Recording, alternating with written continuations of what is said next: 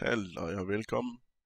I dag skal vi se på det her program, der hedder Livestreamer Twitch GUI, som er et program, jeg selv er begyndt at bruge meget, efter at uh, Twitch desværre for mit vedkommende er blevet dårligere og dårligere at se. Både øh, uh, streamer, der har partner, og folk, der ikke har partner, de uh, buffer og ja, delay og you name it. Så uh, jeg har uh, været rundt på nettet og finde den her løsning, og der er helt sikkert andre YouTubes, der også viser det, men øh, nu tænkte jeg, at jeg ville vise det for jer også.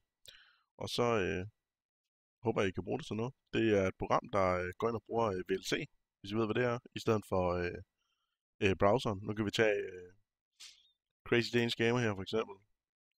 Så connecter den til den IP eller whatever, nu er jeg ikke så meget i det her, som han har fået. Og så får jeg den her over på VLC og så viser den den kvalitet, som han streamer den i, i stedet for, øh, hvad Twitch har det der presets til. Så øh, det er skidesmart. Så kan jeg vælge at åbne hvad hedder det, chat og sådan nogle ting også via programmet. Øh, det eneste, der er med det her program, det er, når I logger ind, så beder dem adgang til nogle ting, og det er måske, der vil nogen af jer nok tænke, hvorfor skal det have adgang til det? Og det tænkte jeg også, men altså, det er sådan noget med, at den kan skrive for din konto, men ja, nu ved jeg ikke. Hvis du bare sidder og ser Twitch, så tror jeg ikke, der er det store at komme efter. Nu streamer jeg, men jeg tænker, en dansk øh, streamer på min størrelse, tror jeg heller ikke betyder ret meget. Så jeg ved ikke lige, hvorfor den skal have adgang til det. Men sådan er det. Der kan man også gå ind, ligesom på, øh, ligesom på hjemmesiden. Gå ind og kigge her. Hvad, hvad vil I se at spille, og you name it, subscriptions og alt det der. Nå, den måde det foregår på, det er, at I skal ind på nettet og finde VLC. Og alle de her links kommer til at stå under. Så henter jeg bare exe-filen eller whatever. Hvad for en I føler for. Jeg vil bare tage exe-filen. Hvis jeg ikke allerede har det. For der er rigtig mange, der bruger VLC. Så skal jeg fat i øh, det her. Som er selve livestreamer-programmet. Og øh, det link kommer også til at stå nede i description. Der henter I bare... Øh, jeg vil også tage exe-filen her. Når der er download. Husk ikke at komme for langt ned, fordi så kommer I til en gammel version. Så bliv op med den her version. 1.12.2. Og så lige scroll lidt ned. Exe. Boom. Gå hen på den næste over. Det er så GUI, det er så selve øh, den der brugerflade, som jeg havde her. Nu ved jeg ikke, hvor fanden jeg fik smidt den her. Der. Det er selve, sådan så det er nemt at bruge. Øhm, og den går jeg også ned og henter på samme måde. Der går jeg bare ned og tager en af de to hænder. Alt efter om 64 stik, eller 64 bit, ikke tik. Hvor meget CS. 64 bit eller 32 bit.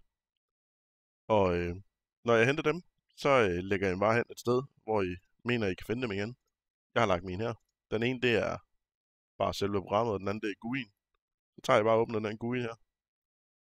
Eventuelt højreklik og smid på øh, skrivebordet. Og så I kommer hertil. Hvor I så kan logge ind herover. Ligesom på Twitch. Ligesom hvis du... Øh, ja, hvad kan man sige? Hvis I har været med i nogle af de der øh, subscription giveaways, så, så linker den ens, øh, hvad hedder det, Twitch til det program her, og så giver det adgang. Og så kan I bare ellers bare gå mok. Som sagt, tager vi lige Crazy Danish Gamer igen. Når I klikker her, så kan I se, at den begynder at connect. Nu stopper den det her. Så kan I gå ind her og sige, at jeg vil gerne have chatten for eksempel, for det er jo ikke, det er jo ikke ligesom Twitch, men det jeg godt kan lide ved det, det er, at for det første, det er bedre kvalitet, og så buffer det ikke. Det er pisse til at se noget, der buffer. Og lige så vel, hvis du ser en, en stream, der er non-partner, så er det også så det er også synd for den streamer. Altså, nu er jeg jo ikke selv partner, men nu har jeg ikke selv lige haft problemer, selvom jeg streamer ret høj bitrate.